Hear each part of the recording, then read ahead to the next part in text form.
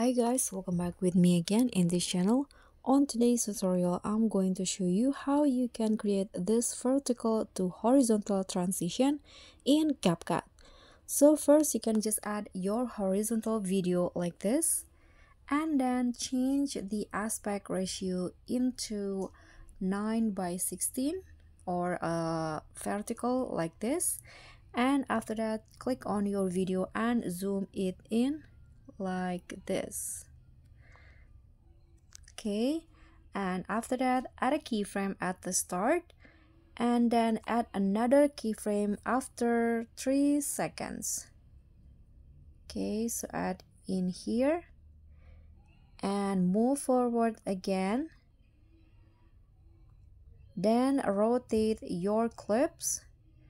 Rotate your clip to 90 degrees to make it horizontal okay. Sorry to make it uh, vertical. Like this. Okay. Now you can just go back. And here click on overlay and add the rotate overlay. This one.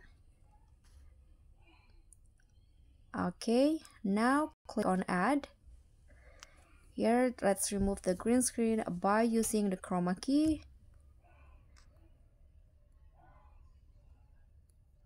Okay let's see the result first.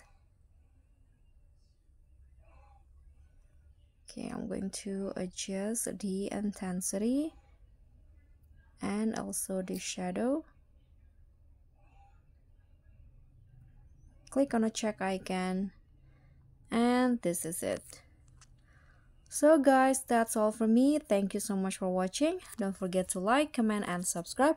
And also click on the thanks. Bye!